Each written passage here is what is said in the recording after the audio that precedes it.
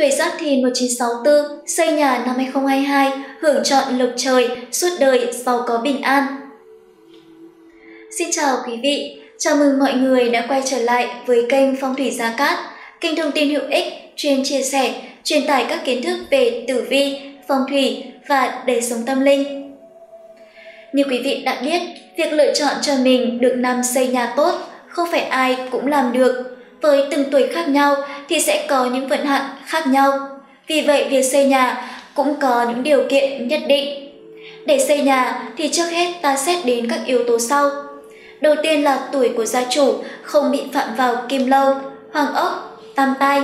Sau khi tuổi không phạm, ta xét đến các yếu tố về vận đất, có bị phạm vào các đại sát như thái tuế, tuế phá, ngũ hoàng, tam sát, mộ kỷ đô thiên hay mộ long biến vận hay không. Nếu tuổi của gia chủ không phạm mà hướng lại tốt thì xây không có gì cắt bằng. Còn nếu tuổi của gia chủ không hợp mà đất cũng không được vận thì hùng họa khôn lường. Đặc biệt là nếu đã biết là xấu, không xây được mà còn cố tình vi phạm vào những điều đại kỵ, tâm linh mà kênh phong thủy Gia Cát sẽ chia sẻ ở ngay sau đây thì hết sức nguy hiểm, nhẹ thì mất tiền, ốm đau, bệnh tật, nặng có thể dẫn đến mất mạng, ảnh hưởng trực tiếp đến cuộc sống của những người còn lại trong gia đình. Vì vậy, gia chủ tuổi giáp thìn cần hết sức cẩn trọng, xem xét thật kỹ lưỡng trước khi quyết định xây nhà hay không. Xin mời quý vị hãy tiếp tục theo dõi chương trình. Trong năm nhâm dần 2022, mệnh chủ tuổi Giáp Thìn sinh năm 1964 đã bước sang tuổi 57. Năm nay, mệnh chủ tuổi Giáp Thìn bị phạm tam tai, một trong ba kiêng kỵ khi xây nhà, Vậy nên nếu mệnh chủ tuổi Giáp Thìn muốn xây nhà, cần phải mượn tuổi khác để công việc được tiến hành hanh thông, thuận lợi nhất. Các gia chủ tuổi Giáp Thìn thuộc cung ly mệnh hỏa có bốn hướng tốt là hướng Nam phục vị, Đông Nam thiên y, Bắc diên niên và hướng Đông sinh khí. Bên cạnh đó có bốn hướng xấu là hướng Đông Bắc họa hại, Tây Bắc tuyệt mệnh, Tây Nam lục sát và Tây ngũ quỷ. Quý vị thân mến, ở nhà hợp hướng thì vô cùng tốt mọi việc được hành thông thuận lợi, nhưng nếu lỡ phạm vào những hướng xấu như Đông Bắc, họa hại, Tây Bắc tuyệt mệnh, Tây Nam lục sát và Tây ngũ quỷ thì hung họa khôn lường, thì hung họa khôn lường, cuộc sống của quý vị sẽ luôn gặp khó khăn trắc trở, gia đình nhiều khi bất hòa, công việc luôn bị người khác cản trở nên không thể có cơ hội phát triển được. Còn con đường tài lộc thì điêu tàn, tiền có rồi lại mất, làm ăn vất vả cả đời mà kết quả không thu được gì. Nhìn chung, những khí xấu ảnh hưởng do nhà không hợp hướng mang lại khiến cuộc sống của những mệnh chủ tuổi giáp thìn bị lao đao, lận đận. Vậy nên để hóa giải những điểm xấu trên, tuổi giáp thìn cần treo trước cửa nhà mình một chiếc gương bắt quái tinh cầu bằng gỗ đào. Đây là pháp khí phong thủy chuyên hóa giải nhà không hợp hướng cho các gia chủ tuổi giáp thìn, giúp gia chủ cùng những người trong gia đình có cuộc sống bình an, may mắn, hơn nữa, gương bát quái tinh cầu được thầy Gia Cát cùng các thầy trong Hiệp hội Phong thủy Tâm linh Việt khai quang, trì chú, xem nghề sử dụng riêng cho tuổi giáp thìn. Điều đó sẽ giúp vật phẩm phát huy công năng tốt nhất, hóa giải nhà không hợp hướng, cùng với những sát khí từ phía trước ngôi nhà. Như quý vị đã biết, để xây được một ngôi nhà cần phải xét rất nhiều yếu tố, mà một trong các yếu tố tiên quyết là vận của đất. Mỗi năm vận đất sẽ khác nhau, Vậy nên để biết trong năm 2022 nhâm dần những hướng nhà nào xây được tốt, mời quý vị cùng theo dõi bài phân tích ngay sau đây của thầy Gia Cát. Đầu tiên là hướng Bắc. Hướng Bắc gồm 3 sơn nhâm, tý, quý 337,5 độ đến 22,5 độ. Năm 2022 nhâm dần được sao nhất bạch tài tinh đào đến. Sao nhất bạch là sao tham lang, hiệu văn xương, ngũ hành thuộc thủy, màu trắng. Mùa thu tiến, mùa đông vượng, mùa xuân tiết, mùa hạ tử. Kẻ sĩ gặp nó ắt được lộc của nó, người thường gặp nó nhất định tiền bạc sẽ vào nhà. Đây là đệ nhất cát thần. Nhất bạch lại là quan tinh, nếu nó đường vượng, hình thế loan đầu bên ngoài lại có thủy phóng quang thì khoa cử đỗ đạt, danh lừng bốn bể. Sinh con trai, thông minh, trí tuệ. Nó mà suy tử thì hại vợ không thọ, cuộc đời trôi nổi, lênh đênh, mắc nhiều bệnh tật về huyết, thận hư hoặc thành kẻ nghiện ngập, trộm cướp. Nhất Bạch gặp phương Bắc là tị hòa, nếu vượng thì có lợi cho tài văn chương hoặc các công việc về văn, nếu suy thì sẽ bị bệnh về máu, nghiện ngập hoặc chìm đắm trong tử sắc. Vậy nên với những nhà hướng Bắc, năm 2022 nhâm dần, hãy treo trước cửa nhà pháp khí phong thủy, mai hoa phú quý. Đồng thời tại phương vị này trong phòng khách cũng nên đặt một tháp văn xương kích vận để nghênh sao nhất bạch, giúp cho đường quan vận và học hành của những người trong gia đình được hành thông may mắn. Bên cạnh đó, hướng Bắc là một trong những hướng tốt đối với gia chủ tuổi Giáp Thìn. Ở hướng này được hướng Diên Niên, Diên Niên hay Phúc Đức, tượng là sao vũ khúc thuộc hành kim, là cát tinh đại diện cho tuổi thọ, sự phát đạt về tài chính và kéo dài để lại cho thế hệ sau. Nó còn được gọi là thần Phúc Đức. Hơn nữa, lại ở nhà Tây Trạch thì hợp làm cho nhà thịnh vượng lên vì bản thân nó là kim, lại gặp hành kim nên sẽ tăng thêm phần thịnh vượng. Thứ hai là hướng Tây. Hướng Tây gồm ba sơn canh, sậu, tân 247,5 đến 292,5 độ. Năm 2022 nhâm dần bị sao thất xích phá quân ngự trị. Thất xích là sao phá quân, còn gọi là tặc tinh, một trong những hung tinh của huyền không phi tinh. Quý vị nên cẩn trọng khi lập tình bản chọn đất xem nhà. Sao thất xích nếu vượng thì phát về võ quyền, đình tài đều vượng.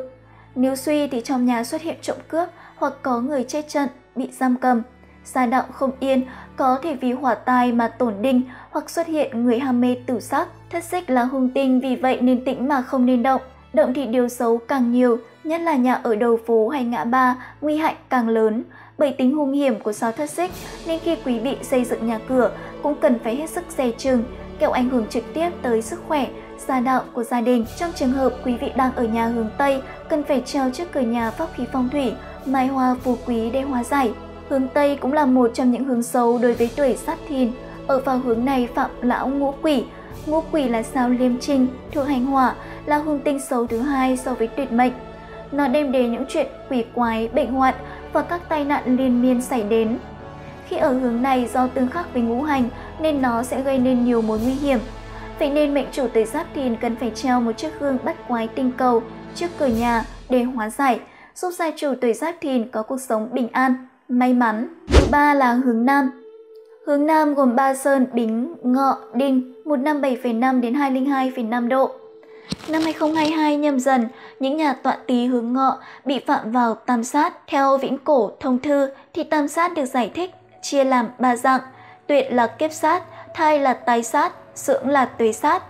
Nói đơn giản hơn thì kiếp sát, tai sát và tuế sát chính là vị trí tuyệt, thai và dưỡng của địa chi. Từ đó có thể hiểu, trên thực tế thì tam sát là tên gọi chung, kết hợp giữa kiếp sát, tai sát và tuế sát. Tam sát là phương vị lưu niên xung tam hợp vượng vị.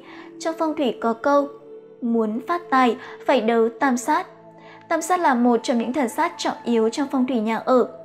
Nếu lưu niên phạm tam sát thì tất sẽ ảnh hưởng đến tài vận trong năm, cũng dễ vì thế mà gặp họa phá tài, lộ tài, người nhà ốm đau bệnh tật, tai nạn bất ngờ. Vậy nên những nhà hướng Nam trong năm nay xây mới cần hết sức lưu ý, quý vị hãy liên hệ đặt lịch trực tiếp với thầy Gia Cát để được tư vấn hoàn toàn miễn phí tại văn phòng. Hướng Nam là hướng phục vị, một trong bốn hướng tốt đối với gia chủ giáp thìn. Phục vị là sao phụ bật thuộc hành thủy, cũng là cát tinh, có tác dụng làm tăng thêm sức mạnh, tiếp thêm cho trạch mệnh và trạch chủ. Nếu gặp cát tinh mọi việc sẽ thăng tiến nhiều, còn gặp hung tinh mọi sự xa suốt theo. Thứ tư là hướng Tây Nam, Hướng Tây Nam gồm Ba Sơn, Mùi, Khôn, Thân từ 202,5 đến 247,5 độ. Năm 2022 nhâm dần, những nhà tọa dần hướng thân bị phạm vào tuế phá, nhà tọa sửu hướng mùi bị phạm vào tam sát. Đây là hai sát tinh lớn hóa giải rất khó, vậy nên việc xây mới hoàn toàn không nên.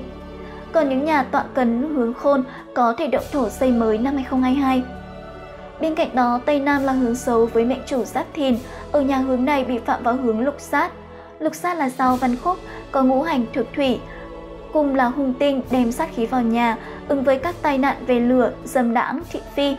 Nó là hung tinh nhưng so với các sao khác đỡ hung hại hơn, vì ngoài hai hành hỏa thổ thì nó đều tương sinh hoặc ngang hòa, nên tính hung hại của nó đỡ hơn các hung tinh khác. Nhưng để hóa giải, các mệnh chủ cần sử dụng pháp khí phong thủy, gương bắt quái tinh cầu gỗ đào, đây là pháp khí chuyên hóa giải nhà không hợp hướng, các sát khí từ bên ngoài kéo đến ngôi nhà của bạn, giúp những người trong nhà có cuộc sống ấm no, hạnh phúc. Tiếp theo là hướng đông. Hướng đông gồm ba sơn giáp, mão, ất, 67,5 đến 112,5 độ. Năm 2022 nhâm dần, những nhà định khởi công xây dựng có tọa dậu hướng mão bị phạm vào mậu kỷ đôi thiên sát. Mậu kỷ đôi thiên sát là một trong năm sát khí lớn nhất của năm, ảnh hưởng trực tiếp đến trạch đất của quý vị. Chính vì nó thuộc một trong năm sát tinh nên trường khí rất mạnh, ảnh hưởng trực tiếp đến sự hưng vượng của ngôi nhà. Vậy nên quý vị hãy sử dụng la bàn phong thủy, đo kỹ lưỡng, liên hệ trực tiếp với thầy Gia Cát để được tư vấn hoàn toàn miễn phí. Tuy nhiên hướng đông là hướng sinh khí với những gia chủ giáp thìn. Như quý vị đã biết, sinh khí là sao tham lang tinh, có ngũ hành thuộc mộc, là các tinh mang lại may mắn. Sinh khí ở Tây Trạch gặp càn đoài, bị hành kim khắc nên thuộc tính tốt bị khống chế, gặp cấn, khôn cũng bị tương khắc nên thuộc tính giảm. Thứ sáu là hướng Tây Bắc. Hướng Tây Bắc gồm Ba Sơn, Tuất, Càn, Hợi 292,5 đến 337,5 độ. Năm 2022 nhâm dần có sao lục bạch tài tinh đào đến hướng. Lục bạch là sao vũ khúc là cát tinh, khi lập tinh bà nên hướng theo sau này để chọn được nhà đất tốt. Sao lục bạch nếu vượng thì quyền uy chấn động bốn phương, làm võ tướng công trạng hiền hách, gia đình giàu có nhiều nhân đinh. Nếu suy tử thì sống cô độc hoặc chết trong binh đao, người nhà thường quá vợ, có nhiều quả phụ. Lục bạch gặp nhất bạch là sinh xuất, nếu vượng thì quan vận thuận lợi, hành thông, tiền của dồi dào, con cái học hành độ đạt. Nếu suy thì quan lộc tuy không giảm, nhưng người nhà thường mắc chứng đau đầu hoặc gặp tai nạn sông nước. Như vậy, tổng quan hướng Tây Bắc năm 2022 nhâm dần là khá tốt, việc động thủ xây nhà lại càng hành thông thuận lợi. Còn những người đang ở nhà hướng Tây Bắc cũng nên treo trước cửa một pháp khí phong thủy, mai hoa phú quý, đón cắt tinh, hóa giải hung tinh của năm. Ngoài ra Tây Bắc là hướng xấu với mệnh chủ giáp thìn, ở hướng này bị phạm vào hướng tuyệt mệnh, một trong bốn hướng xấu nhất. Tuyệt mệnh là sao phá quân thuộc hành kim là hung tinh, xấu nhất trong 8 sao, đem đến tuyệt khí, tử khí vào nhà, gây tai họa cho gia chủ. Vậy nên quý vị cần sử dụng pháp khí phong thủy, gương bắt quái tinh cầu bằng gỗ đào để hóa giải, giúp mang lại may mắn bình an cho gia chủ giáp thìn cùng toàn bộ gia quyến. Thứ bảy là hướng Đông Bắc. Hướng Đông Bắc gồm Ba Sơn, Sửu, Cấn, Dần 22,5 đến 67,5 độ. Năm 2022 nhâm dần, những nhà tọa thân hướng dần bị phạm vào thái tuế và mậu kỷ đôi thiên. Những nhà tọa mùi hướng sử bị phạm vào tam sát.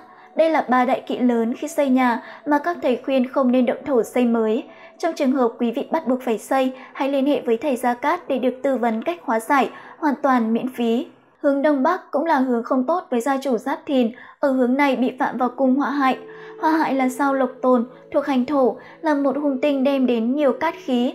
Ở hướng này bị phạm vào cung họa hại, họa hại là sao lục tồn thuộc hành thổ, là một hung tinh đem nhiều cát khí, gây nhiều thiệt hại về sức khỏe và công danh. Nó làm cho con cái đần độn, bất lương, bệnh tật ốm đau, tài sản xa suốt. Vậy nên cũng cần phải treo trước cửa nhà pháp khí phong thủy, gương bắt quái tinh cầu để hóa giải. Đây là pháp khí chuyên hóa giải nhà không hợp hướng và những sát khí từ bên ngoài ảnh hưởng trực tiếp đến ngôi nhà của mệnh chủ, giúp những người mệnh chủ giáp thìn cùng gia đình cuộc sống ấm no, hạnh phúc. Cuối cùng là hướng Đông Nam. Hướng Đông Nam gồm có 3 sơn thìn, tốn, tỵ từ 112,5 đến 157,5 độ. Năm 2022 nhâm dần, những nhà tọa hợi hướng tỵ bị phạm tam sát, không nên xây mới hay sửa chữa. Còn những nhà tọa càn hướng tốn và tọa tuất hướng thìn xây mới bình thường. Nhưng để mọi việc hành thông thuận lợi, quý vị hãy liên hệ trực tiếp với thầy phong thủy uy tín để được tư vấn về mọi việc chọn tuổi động thổ, ngày giờ động thổ, cũng như cách bố trí phong thủy hợp lý, mang lại may mắn bình an. Với gia chủ giáp thìn mà ở nhà hướng đông thì hợp hướng, được hướng thiên y. Thiên y là sao cự môn thuộc hành thổ, là cát tinh, không những là biểu hiện tốt về mọi mặt sức khỏe, phòng bệnh mà còn làm cho gia đình hương vượng về tài sản, nhà đất, vật nuôi. Nó thể hiện vai trò của nhà lương y như vị cứu tinh giúp gia chủ, giúp giảm trừ tai họa, tăng trưởng phúc đức. Tuy nhiên, nếu ở nhà hướng này, sao thiên y bị giảm sút không phát huy được tối đa công năng của nó do gặp phải ngũ hành tương khắc. Quý vị thân mến, trên đây là những chia sẻ về việc xây nhà và cách hóa giải phù hợp với gia chủ tuổi Giáp Thìn trong năm nhâm dần 2022. Hy vọng những nội dung trong chương trình ngày hôm nay đã giúp quý vị có thêm được những thông tin hữu ích hơn nữa. Rất cảm ơn mọi người đã luôn quan tâm, theo dõi, ủng hộ chương trình. Quý vị đừng quên like, đăng ký kênh, nhấn vào tín hiệu chuông để nhận được những thông báo mới nhất của kênh và không bỏ lỡ bất kỳ video và thông tin nào từ chúng tôi. Còn bây giờ, xin chào và hẹn gặp lại quý vị trong những chương trình lần sau.